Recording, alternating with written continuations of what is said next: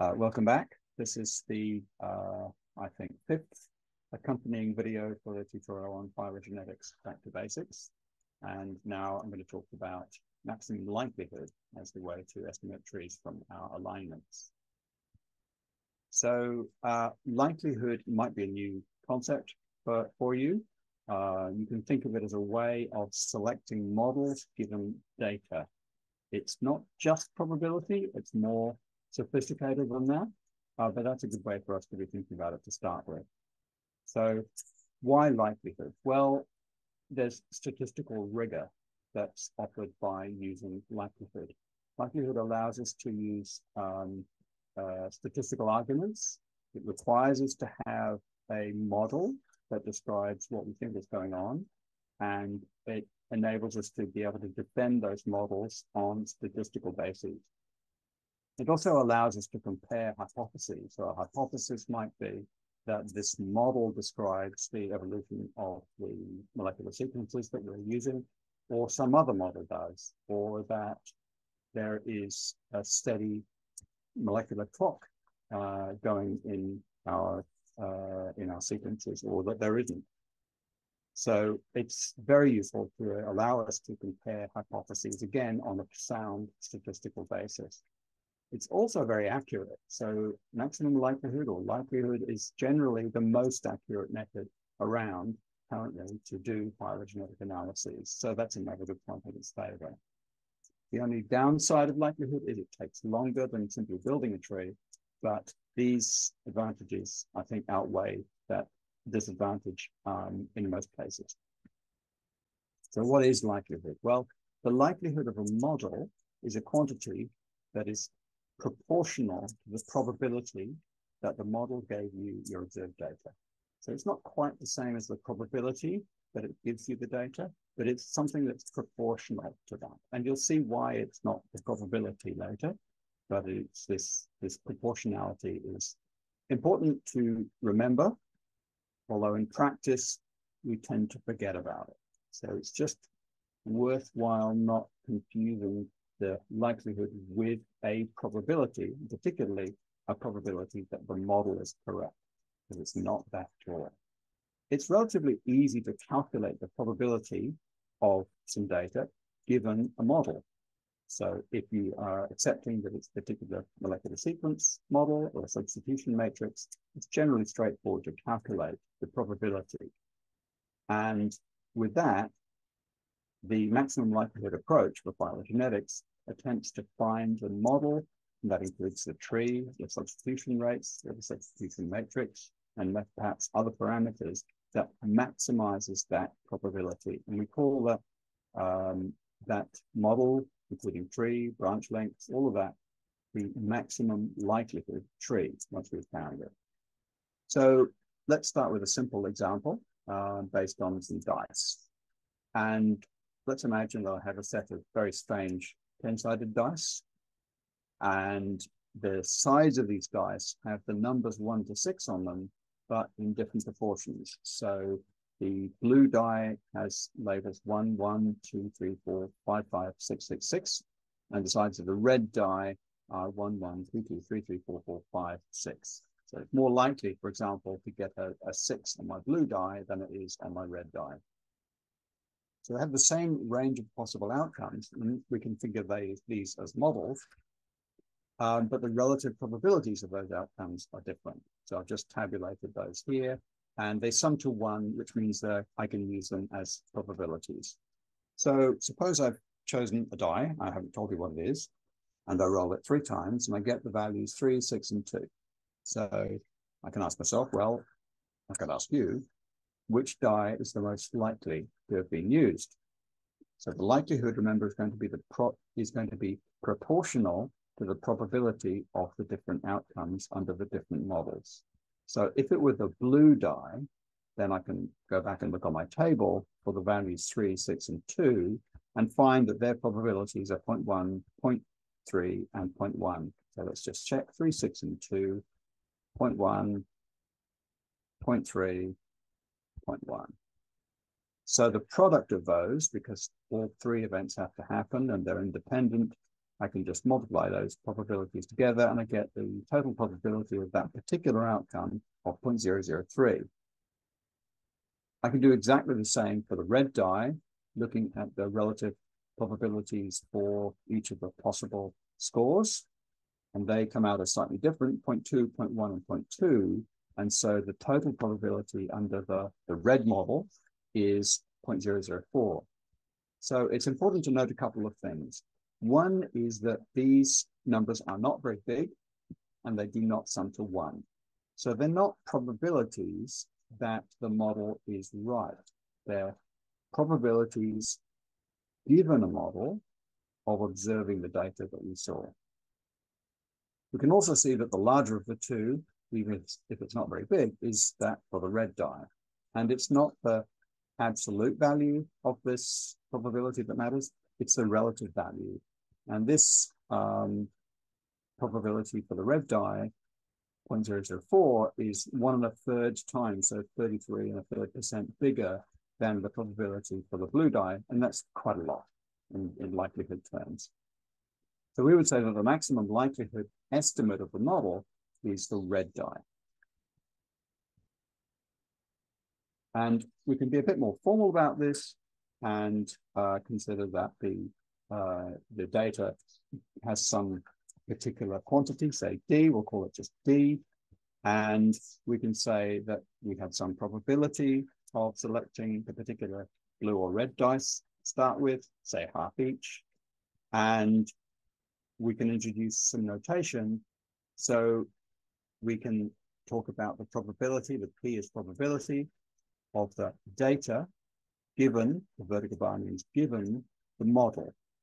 So this notation means the probability of the observed data, that's our outcome, given the blue die. And this notation means the probability of the data given our, uh, given our model being the red die. And I can reverse this um, conditionality. So this is a conditional probability. It's the probability of D conditioned on B or the probability of D conditioned on R. But I'm sort of actually interested in the probability that the model is right rather than that the data came from the model. And so I would be going, well, I really want the probability of the model given the data. And so I can actually use a formula from uh, the very famous um, statistician, Reverend Bayes. the Bayes formula in its very simplest form to do this transformation would be as follows. So the probability of B given D is equal to the probability of the data given the model times the probability of the model. And in our case, I said that the probability of selecting the dice, the dice was half each. So this is 0.5 and then divided by the probability of the data. Now, the probability of the data under these circumstances is the probability that I choose the blue die times the probability of the data given that I choose the blue die. Alternatively, I could have chosen the red die and multiply that by the probability given the data given that I chose the red die. So this is the probability of observing those data. If I didn't know which um, model I had chosen, if these were still expressed as probabilities, so it was uncertain, then the probability of observing the data is the sum of those two terms. Everything else in this formula has changed the same. The numerator on top is, is stayed as it is. And that's Bayes' formula. Similarly, we can do the same for the probability of the red die. The denominator stays the same throughout. Um, and so the probability of the red die given the data is simply the probability of the, the data given the red die times the probability of R over the probability of D. As it turns out, for our very simple example here, probability of R and probability of B are the same. And so this probability of B given the data and probability of R given the data are just going to be uh, simple multiples of the original probability is 0.003, 0.004. And so we can think of these conditional probabilities as the relative likelihoods of the model given the data. And that's what we'll be working with when we're talking about likelihoods for phylogenetic analysis. So that was a very, very simple example, but it did show us some important concepts. So first of all, we can turn around the probability of the data given the model to the probability of a model given the data. Of the models considered, which was only two models, which is a significantly small set of models, it was possible to choose which one was more likely. And that's the one that had the high probability of giving us the data that we saw. And the other thing, of course, we could note is that these likelihoods were pretty small. They don't have to sum to one, so they're not probabilities. So in practice, these likelihood values do get very, very small. Rather than risk a numerical underflow when the numbers get too small to be stored, we take the natural log. So it's much more common to see log likelihood being talked about than likelihood. Um, in fact, it's so common that people often say likelihood when they mean log likelihood, so just be aware of them. So now let's think about probabilities in a slightly more phylogenetic sense. We're going to consider substitutions of one nucleotide to another in some fixed amount of time, say one million years. So we might imagine that we have some experimental evidence to say that the probability of, uh, say, a G changing to an A might be 0.01 in that time. And this is a very simple model. So we're going to say that the probability of changing from any nucleotide to a different nucleotide in one million years is 0.01. And so the probability that it stays the same must be 1 minus 3 lots of 0.01, giving us the 0.97. So we can then easily calculate the probability for a single nucleotide going from one state to another, say A to G, and that's just by reading it straight off that graph. Now, one of the big assumptions that we make in phylogenetic analysis is that the sites evolve independently of each other. And that means that just as we did for the dice example, to calculate the probability of multiple things happening, we simply multiply the probabilities of the individual things.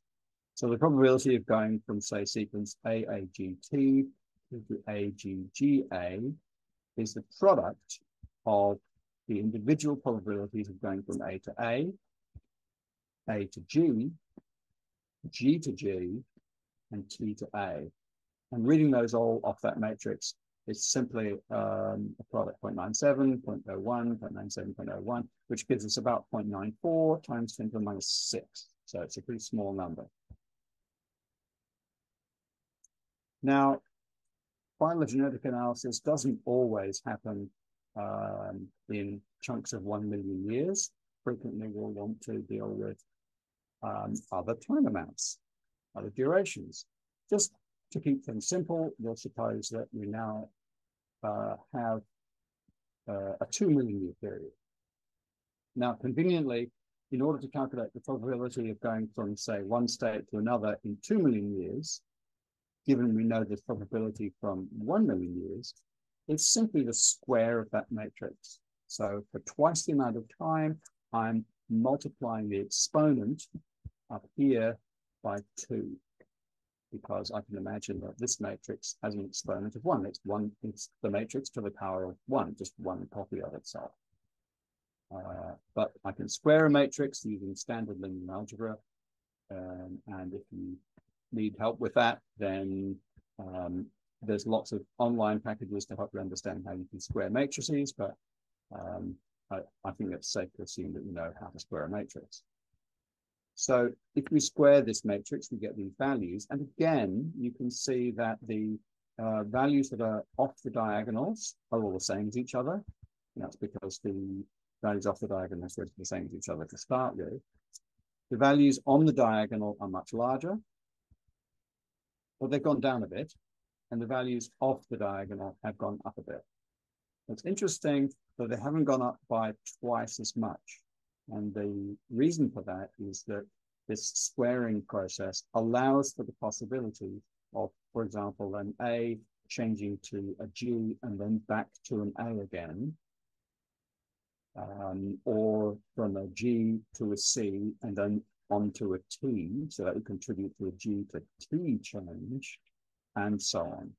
So as we square matrices, then we allow for many more sort of paths through the possible set of nucleotides that we might go go through from one nucleotide to the final nucleotide, including staying as it was to start with. So A to A, or A to G to A, or A to C to A, or A to T to A. So if we have this uh, property, if we have a probability matrix for a particular fixed time, we can um, raise that matrix to higher and higher powers or smaller powers, perhaps, to get probabilities for different amounts of time. This actually doesn't really generalize very well. And it doesn't really make sense to have a fixed probability for a fixed time period when we start trying to do phylogenetics in practice. So instead of working with probability matrices, we actually work with rate matrices. So this is an equivalent rate matrix for the probability matrix that we just saw, where everything off the diagonal is the same. But the difference is that rather than the row sums, that's the sum of all of the values in a particular row, being one, for a rate matrix, they're zero. And what that means is that the rate of um, changing from A to A plus A to G plus A to C plus A to T is comes out as zero. Now, in order to turn to turn a rate matrix into a probability for an arbitrary amount of time, we use something called matrix exponentiation, uh, which looks like this. This might be a very strange concept to think about because it is the natural number e, which you're probably familiar with, but e to the power of a matrix is slightly non-standard, uh, except in this space. Rest assured, there's very well-defined ways to evaluate these quantities um, so that we can easily convert between rate matrices and probabilities uh, on uh, a tree, because ultimately we want to find probabilities of sequence evolution on trees with particular values of their rate matrices so that we can find the tree and the rate matrices that maximize the probability of observing the data.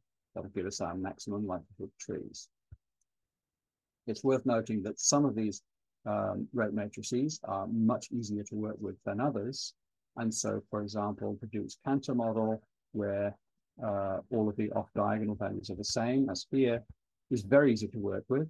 And um, the HKY85 model is very easy to work with as well, but the more general models require numerical approaches. So there are many models of sequence evolution around. There are different matrices with different structures, all the way from the very simplest with one parameter right up to very general models, one called the general time reversible model.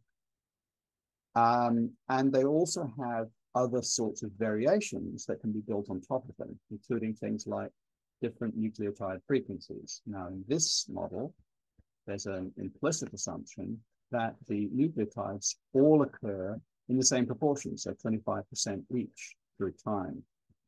Uh, but there are models that allow those to be different. We know that that's uh, biologically realistic because in many species or clades of species, there's um, a GC imbalance that takes it away from a total uh, 50%.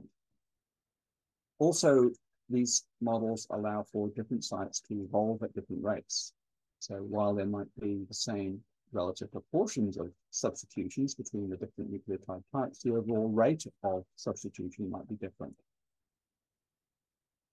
It's also important to remember that likelihoods are going to be expressed as uh, log likelihoods, possibly negative log likelihoods, and that these numbers are really, really small. So a log likelihood of sort of 37,000, which you might see if you do the ANOLIS IQ tree analysis, or 80,000 or 100,000 or whatever. These are, these are not unusual. And they're ridiculously tiny probabilities because this is the log of the probability that we're talking about here. That's not actually a huge issue. It's the relative likelihoods that matter, relative likelihoods, which means that it's the differences in the log likelihoods. So a relative difference in probabilities translates to a, an absolute difference in log likelihoods. A model is then going to be selected to give us the best chance of getting the phylogeny right. So of right back to the uh, motivation. It's not, generally speaking, the main goal of phylogenetics to work out the model. But if we want to get the best chance of inferring the phylogeny correctly, then we should use the best model possible. There's a lot of models. Uh, obviously, some have more parameters than others, and the more parameter-rich models will tend to fit better. Um, in simple terms, because the simpler models can be special cases of the general models. So we need to avoid overfitting. And the general practice then is to penalize the log likelihood value. And it's based on how complicated the model is. We know that as we add more parameters, so the more complex the model, we are going to do at least as well, and in almost every case, better in terms of the likelihood. So we need to find some sensible way to penalize the likelihood um, based on how many parameters there are to avoid this overfitting. So common penalties are the Akaike information criterion. Um, in the original paper, I think it was described as an information criterion, but everybody has named it after the who invented it. There's also a corrected AIC or AIC little c, and there's a Bayesian version as well, BIC. And you'll see all of those, and IQ-tree does produce the values for all of those penalties. So they're very similar to each other. Uh, they're all based on the original log likelihood. In fact, on based on two twice that, but they penalize based on the number of parameters in different ways. So AIC um, penalizes on the number of parameters k by taking 2k minus 2 times the log likelihood. So AIC values are going to be positive values because the log likelihoods are going to be negative. AICC adds an additional penalty and it is based on the number of parameters and the size of the data n. In many circumstances, and this is contentious in phylogenetics, the size of the data, in quotes, is hard to determine. And so AICC and BIC, which also uses the size of the data, can be tricky to get right. I think that's one of the reasons, perhaps, I may be wrong, that AIC is simply the commonest version. And that's the default that's used in IQ-tree. Another important thing to know about likelihood is that it's essentially directionless. And this is a direct result of the nature of the substitution matrices. In those substitution matrices, which were essentially symmetric, except for perhaps effects of the base frequencies, there's no actual difference between the probability of going from sequence A to sequence B um, or going from sequence B to sequence A. So that in turn means that the output trees that we get are going to be unrooted, which means that further down the track, if we want to do uh, a rooted tree, if we want to find a rooted tree, we'll need to find some way to root it. One way is to do midpoint rooting, find the middle of the tree and call that the root. Another way is to consider an outgroup uh, or set of uh, taxa which are confidently not part of the group that we're trying to resolve the phylogeny for. And you can see that in the rest of the tutorial. I'll note also that there are some asymmetric models, uh, and these are in IQ-tree. There are models that are being developed all the time, and IQ-tree is very good at keeping up with those. but they are be beyond the scope of this tutorial and they're not actually commonly used. So active development, and it may be that these become more use, uh, more used further down the track, but at the moment, uh, they're not commonly used. So we don't worry about them now. So let's think about what we have to do in terms of finding the most likely tree and model. Um, and I've got a sort of a toy algorithm written out here. So we can imagine that this is what we would want to do. We're going to, for every tree in the tree space, we're going to check each possible parameter value in the substitution rate matrix. And for each branch length of that tree, calculate the log likelihood of the alignment. So that's for every tree, for each parameter, and for each parameter of the tree, that's the branch length. There may be other parameters as well. We're going to calculate the log likelihood of the alignment. Now, if we did just that and selected every tree in tree space, this would take a ridiculously long amount of time, which we don't have. And so instead, there are a number of very clever tricks that are used to search the space more efficiently um, and to do faster calculations of the log likelihood and to avoid having to check over, for example, all of the potential sequences that there might be within the tree at the internal nodes. We don't have to do that, thankfully. So there's all of these clever speed ups that have been made. However, calculating maximum likelihood trees is slow. Let's think about some likelihoods under some of the models that we've been thinking about. So the first one would be uh, Cantor 69. And that's the one where the rate matrix here, I've given it Q for a rate matrix. Uh, all of the off diagonal values at say alpha and the on diagonals, I've just got that shorthand to say it's minus the, the sum of the other values so that the row sums equal to zero. This is a nice simple model. I'll note that we can't separate this parameter value alpha from the overall rate just as you can't tell people how far away something is by um, how long it's going to take you to drive there without knowing how fast they drive. So if someone says to you, it's an hour away, you still don't know how far it is or how long it's going to take you because you might be driving at different speeds. So effectively, we've just got uh, a very simple search in comparison to the more complicated models coming later, where the tree search is only over trees and branch lengths. So there's only over all possible trees and all possible branch lengths for those trees. The next model I want to talk about is the HKY85. And this is a slightly more complicated model, but not too bad. We have uh, now four parameters because we have three for the relative frequencies of each of the nucleotides. So this is the pi A, pi G, pi C, pi T. That's just a standard notation people use.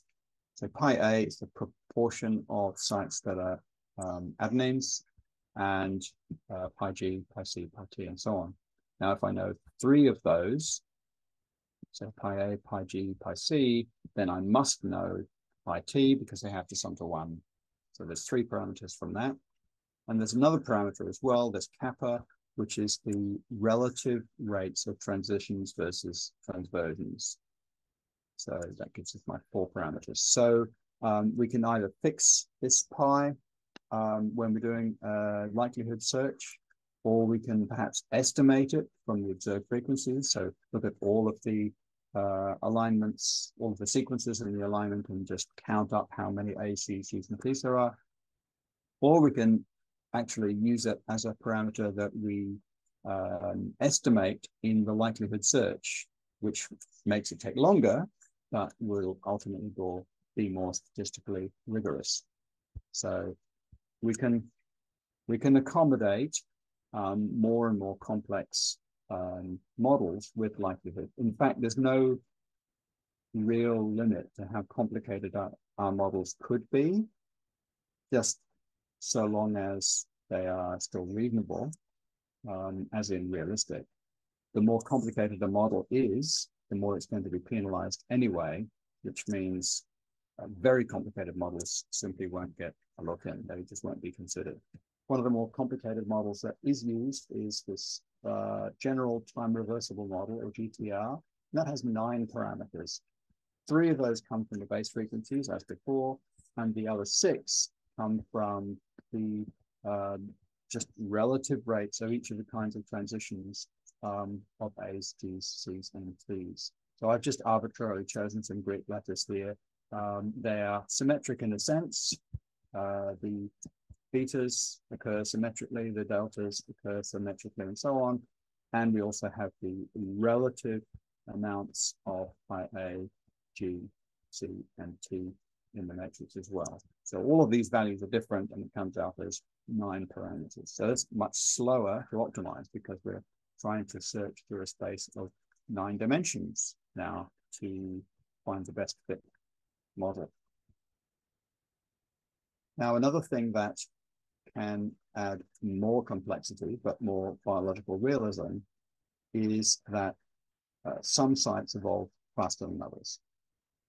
And there are lots of good reasons for why this should be accommodated in our models. Simply, the first one is that some sites are non-coding.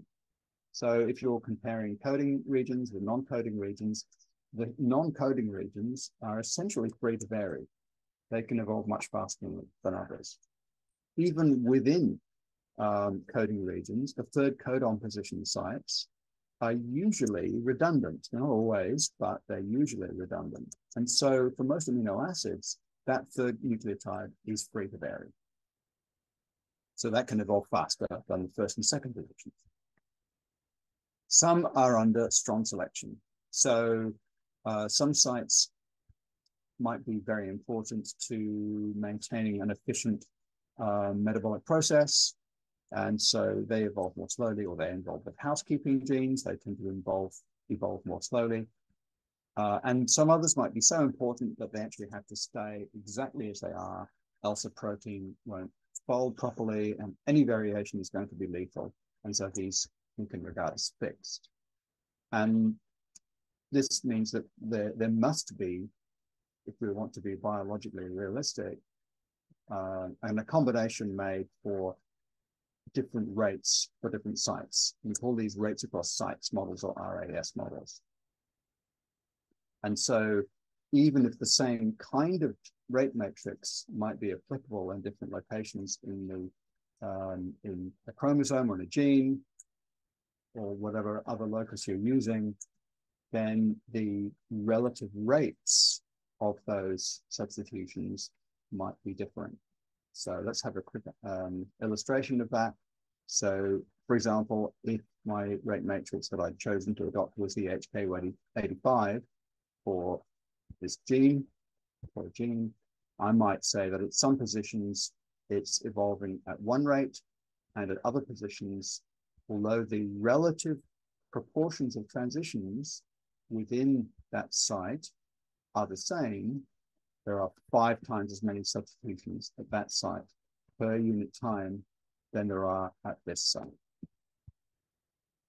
So that's that's where rates across sites come in as yet another parameter. And if there are rates across sites, we might want to know, well, how many rates are there? How many rate classes should there be? The more rate classes we have, the better will be the fit, but we will penalize those the number of rate classes. So eventually we will uh, uh, plateau. We will get a diminishing return on having more rate classes. And what should those rate classes be as well? And how big should they be? So these are all parameters that need to be optimized by something like IQ-tree to uh, find the best tree. So a little bit more about IQ-tree. It is definitely the forefront of maximum likelihood tools uh, for phylogenetics. It's absolutely uh, the most advanced tool in terms of the models that it includes. And it's under um, constant development and uh, new tools and features are going in um, uh, constantly. So if you go to the iqtree.org webpage, then you'll see there's the main citation, but also the different methods and models that have gone into IQ-tree that you can cite there should you can use it in your research. Let's think about tree space. And this is not like space space. This is uh, a mathematical abstraction to help us understand uh, how we can move around trees to find the best tree. I don't want to spend time checking every single tree. I want to spend time looking at good trees and then maybe better trees that are similar to them. So this is the mechanism that we use to move around tree space to find the best trees. So what is it? Well, in mathematical terms, it's a network whose nodes, you'll be familiar with the nodes of a network, I'll show you some in a moment, are trees. And the edges, that's the things that join the nodes, are adjacencies between trees. So these two trees are adjacent if there's some way of moving from one tree to the next. And then each node, that's each tree, has some kind of a score. And the score that we're interested in is the likelihood or the log likelihood. But we tend to use them interchangeably as before, bearing in mind that it's the log likelihood, which is the numerical value that we'll be dealing with. So we can't check every tree, there are too many. So we, in a sense, in a sense, wander through the sets of trees, going from one tree to another tree to another tree in the search for the best possible tree. This means that the maximum likelihood tree search is going to be heuristic. It won't guarantee that the tree that we find has the highest likelihood. It probably will, but because this is a computation on a very hard problem, it means that we can't guarantee that it definitely is the optimal tree. So we hope and we assume that the best or that's the most likely trees will have a lot in common with each other. They'll be similar to each other. And fortunately, that actually is the case.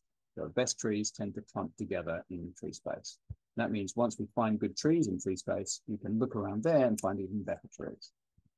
Well, how do we move around in tree space? The first uh, perturbation, that's a small change that we make to trees is called NNI, or nearest neighbor interchange. I'm just going to take you through how that works and a couple more, and then we'll move on to how IQ does it. So NNI is a way to transform one tree into another that is very similar to the original one. It effectively consists of finding an edge or a branch that's an internal one that is not at the edge of the tree. This is uh, a tip, and we're not interested in the edges joining uh, a tip to an internal um, node. We're interested in the internal edges, so from X to Y in this case, or from Y to Z. So those are the only two internal edges. You can do an NNI move on either of those. And so let's look at how it might work. So suppose here's my tree again, it's just rearranged. I have the edge of interest is the X to Y edge. We're going to collapse that. And then we end up with a non-binary tree. It's an unrooted tree, but it's not binary. And uh, we're going to then uh, expand out of that collapsed node in either of the two ways possible. So one of them joins A with C, and one of them joins C with B.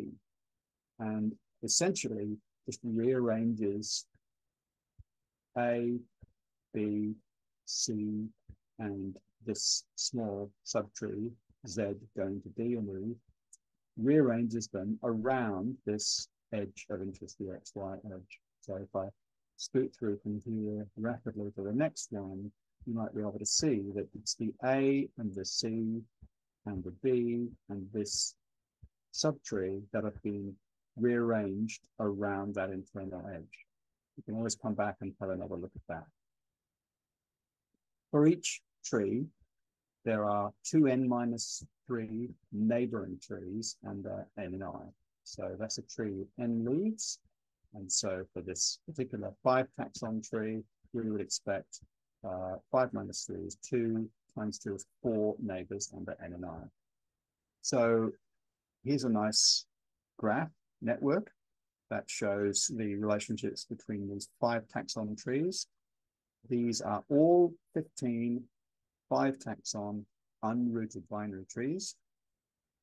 The number of unrooted binary trees grows very, very fast, and you wouldn't want to see a figure like this for the six taxon trees because it would have 105 nodes on it. We might imagine that uh, we would start at, for example, say this tree over here, I've highlighted the D, and perhaps the best tree is over here with a, um, different configuration. And by applying NNI moves, say to this tree, the NNI moves take us along these blue uh, curves. I might go to this tree, then I might go to this tree, looking at always looking at an improving tree, and then finally end up at this tree where there's no more improvements to be made, and I would stop. Another tree perturbation, which is more general, is SPR. That stands for subtree pruning and regrafting. And it essentially works by choosing an edge, cutting the tree at that point, considering the, the smaller part. In this case, if I cut my tree at the red edge, I've got a small part here with just the A, the W, and the B, and reconnecting that smaller part anywhere else in the larger part. So if this were my original, then I could connect it up to there, or to there, or to there, or to there. And this gives me substantially more uh, neighbors under this operation. And instead of being something that's linear in n, 2n minus 3 for NNI's, it's 4 times n minus 3 times n minus 2. So this number goes up as the square of the number of taxa involved. So this takes longer, but has a better chance of giving you a good result because it searches more neighbors each time. Uh, the third of the tree perturbations that we'll consider is tree bisection reconnection. That works by cutting the tree at any internal edge and then considering each part separately, rerooting the parts just formed and then reconnecting the roots wherever we like. So uh, let's go through a, an example of this. So if I imagine that I've got my edge, XY edge here, and I'm going to cut my tree, then once I've cut the that edge, then the X and the Y don't matter anymore, and I just suppress those and join W to C and Z to D. And now I can pick any of these branches as uh, roots of the subtrees, say that one and that one, and then connect those up. Now, there's not a nice neat form for the number of neighbors under this, but it is uh, larger again than the number under SPR, so more than um, uh, NNI as well. Now, let's talk about some hills, because this idea of um, searching through a space of solutions, in this case trees, and always looking at a better tree is called hill climbing. And you can see why. It's because, for example, if it weren't a beautiful clear day, as it is in this photograph, and we were stuck on, say, this saddle point here where my cursor is, I hope you can see my cursor on the right, then if I were to go up this little hill, I would end up at the far right of this photograph on that little red patch, and I might think that I'd come to the top of the hill. If I couldn't see very far, if it's foggy, um, then that would be my best guess as at the height of this range of hills. And that would be wrong. Ideally, we want to be able to climb up all the way, perhaps to this point, and in fact, even beyond to this point, which might be the highest one.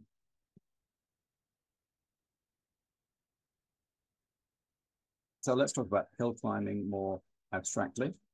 Um, tree search algorithms use hill climbing and other more sophisticated heuristics. but essentially they work in this, in this way. So we start with a reasonably good estimate. That might be something like neighbor joining. And neighbor joining does work pretty well. It builds a tree, it does a reasonably good tree, it doesn't come with any guarantees, and it won't be necessarily as good as the maximum likelihood tree, but it might get us close. So we can imagine that neighbor joining gets us perhaps somewhere on the slopes of this highest peak over here, the back, or even the, the middle peak there. Then once we've got to that point, we check all the neighboring trees.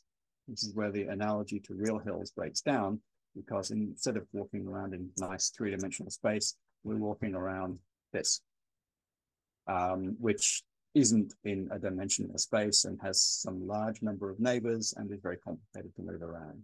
So tree search algorithms will check all the neighboring trees using that complicated tree space network. Um, given a particular perturbation that we're using, for example, NNI, and of those neighboring trees, we'll find uh, an acceptable new tree. We hope that we'll find one that's better than our current tree, uh, perhaps the best amongst the neighbors. And if we find that there's no acceptable new tree, for example, one that isn't better, then uh, we stop.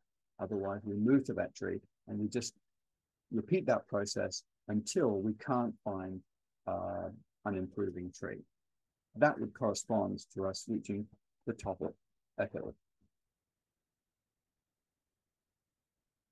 Note again, it's important to remember that because this is a heuristic, we can't guarantee that we won't simply have a local optimum like this peak here versus the global optimum, which would be that peak at the back.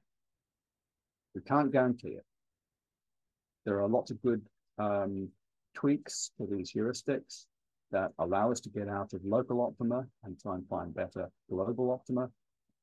Um, but that's um, something that we can rely on IQ-tree to do pretty well and not worry about how it does it exactly here. This just gives you a general overview of how tree search works.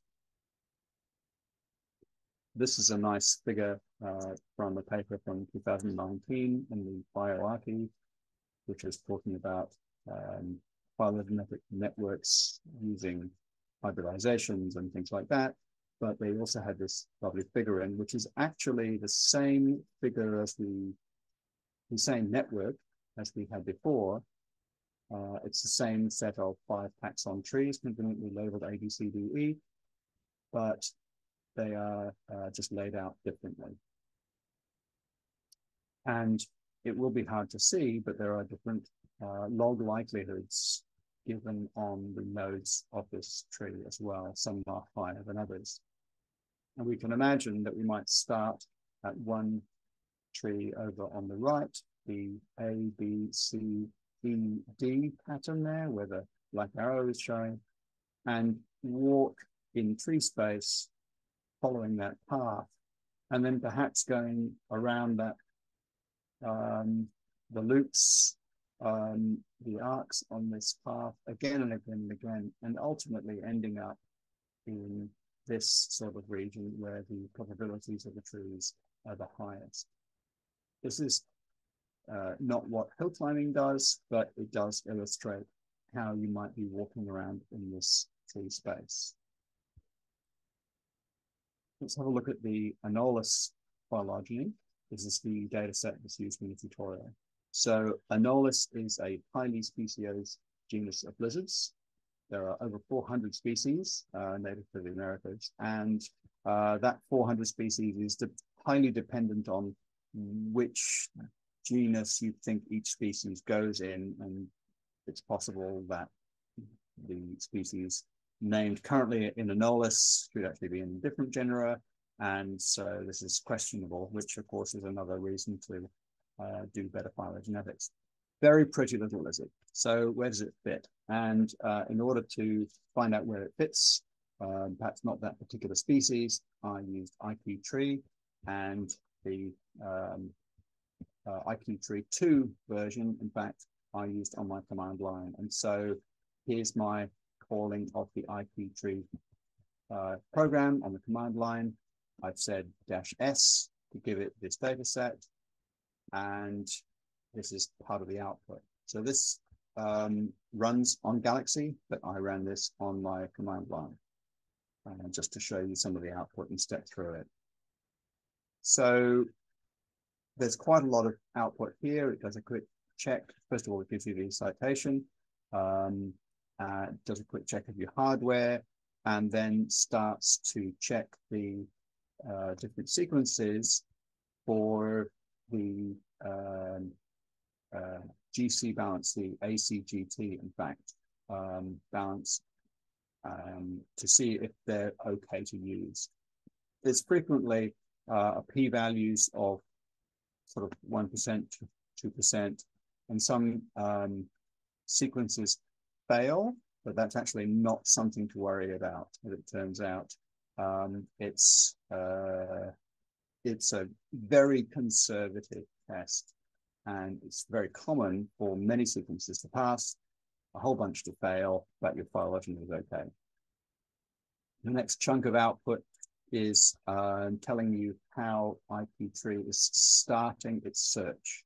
So it's actually creating a parsimony tree, and it's uh, done this fast likelihood tree search following that using a particular model, GTR, the general time reversible model, plus I, which means some class of sites are um, fixed, uh, invariant, the I for invariant, and G for the uh, distribution, the shape of the distribution of the rates across sites. So this is a rates across sites model allowing for some sites to be fixed. And so it starts off with an initial log likelihood. Um, this is where my minus 37,000 came from before and starts to do some improving. It starts for this particular tree uh, with rate parameters. This is the rate parameter for A to C substitutions, A to G substitutions, A to T, and the G to T is um, the last one, and that's essentially used as a marker. So everything scales relative to that. So that's why that one is 1.0. It's also noted the base frequencies in the original sequences of 0.339, 0.261, and so on. It's identified that, whoops, that uh, about 19% of the sites are invariable. They're not only not varying, but they're not allowed to vary. Uh, a parameter to describe that shape, uh, the shape of the distribution of rates, and how long it took. So it's relatively quick. Remember, this was 55 sequences, and it took about a second. Then it goes through and checks under all, uh, most of a very large number of models, um, potentially 286 DNA models. And when you go through and you look at the models that it uh, shows you at the end, you'll find that um, not all of them are produced. And in fact, these models are numbered one, two, three, four, five, up to nine, and then 21. It appears that models 10 to 20 just weren't good enough and didn't didn't make the final cut, and so are not reported. So this is going through in order, and we have the negative log likelihood here. So the log likelihood is the a large negative number. The negative of that is positive. Uh, this is showing you the number of degrees of freedom. That's a number of parameters in the model. So these are very rich, parameter rich models because of all of these different uh, features to the model. And this is the AIC score, the AICC, and the BIC score. So it does that, goes through a whole bunch of models. So then we're on to searching for trees. And this uh, process is generating a whole bunch of trees based on parsimony, which we haven't gone to into this tutorial um, calculates log likelihoods of those 98 initial trees, um, finds good ones, and then it's doing NNI search on the best 20 initial ones, and it's doing some reporting on the improved trees that it's found doing that NNI search. And so it keeps going until it ultimately ends up with uh, the best possible um, candidate tree set. Then it optimizes that set of trees. And so it keeps going and going and going. And ultimately we have improved uh, log likelihoods. Log likelihoods are negative. And you can see how long it's taken over here too. So this is this was happening in real time on my PC. And uh, it, the whole thing took um, a massive 33 seconds and tree search completed after 128 iterations. So it did a bunch of uh, initial tree construction to find good starting trees. It used a set of trees to iterate over to find better trees. And after 128 iterations, it stopped. And now this is our um, final part of the output, which is telling us the best tree found. So you've got rate parameters. Again, the G to T is fixed. You also have C to G happens to be the same. Um, and we also have an A to C and an A to T parameter as being the same. And that corresponds to the particular structure of the model that was found as the best fit model. Um, and also base frequencies, I think are identical. They're very close to the initial estimated base frequencies, but they might have varied slightly. We also have uh, estimates of the proportion of sites in the different rate categories. So what this is saying is uh, approximately 32% of the sites were in a rate category where the relative rate was 0.029. This is relative to an average of one, I guess. 22% of the sites had a rate about 10 times higher, 0.3. 23% of the sites had a range, uh, had a rate about three times higher than that, 1.08, and so on, going off the screen there. And so ultimately we find the total tree length, that's the sum of the branches, and the amount of evolutionary time, if you like, uh, 10.6, 128 iterations, half a minute or so do the whole thing, and that's um, the end. So that all runs quite nicely with no extra defaults given, um, no extra parameters, and um, outputs your tree. It outputs your tree to um, a, a, file, and the tree file is in a Newick format, as discussed before. And then if you want to open that up and visualize that, you can do that on Galaxy. Um, and here is a visualization I've made and I rerooted that tree. So remember that likelihood is essentially symmetric. And most likelihood analyses are symmetric, and so give you an unrooted tree. And that wasn't particularly well rooted because it was just in the middle, and my root was somewhere over here, I think. So I knew what my intended outgroup was. It was these two species down the bottom, Diplolaemus darwinii and Phenacosaurus Acuturus. And so I selected the branch uh, that connected that clade of two species to the rest and made that the root. And that's the output of my tree there. And that's a reasonably good tree. And um, well, that's your best likelihood tree your most likely tree. Now, beyond maximum likelihood trees, um, there's two different ways we could go. One is to think about networks. Um, that's the next video. And another is to think about Bayesian analyses, um, similar to our approach earlier with turning probabilities from uh, of data given models to probability of models given data uses Bayesian analyses. And with those, you can add prior information as well, like perhaps what you think an evolutionary rate might be on one branch, or uh, the age of a clade, if you have some fossil record and things like that. That's well outside the scope of this uh, tutorial, but uh, if you are interested, then there's some good documentation accompanying the beast and MrBayes tools as well. Uh, that's all for now. And so the next uh, video is on networks. And thank you very much for your attention.